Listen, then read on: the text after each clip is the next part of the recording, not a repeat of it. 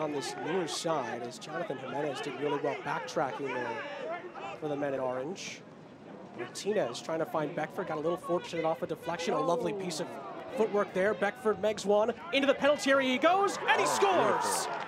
It's a wonderfully taken goal by Deshane Beckford, and the Jamaican puts RGV in front inside 11 minutes. 1v1 battle, beautiful move.